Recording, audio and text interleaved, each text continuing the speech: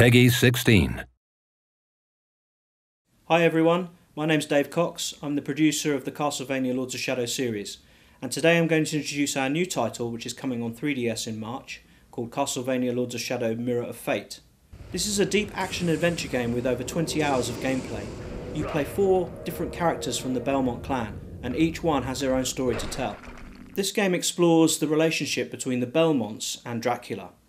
Uh, in previous games, you know, you were, you were a Belmont character and you fought a Dracula at the end, and that was the end of it. But in this one, you will actually go up against Dracula, but understand a little bit more about the storyline, the blood feud that exists between the Belmonts and Dracula.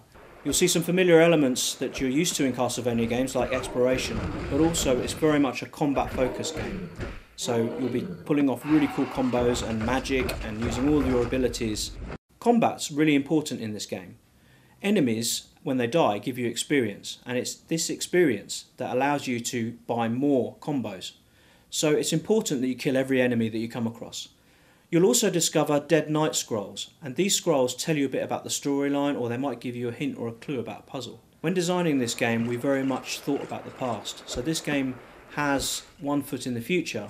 It's very much a modern retelling of the Castlevania mythos, but at the same time, we've got one foot in the past to give you that classic Castlevania feeling.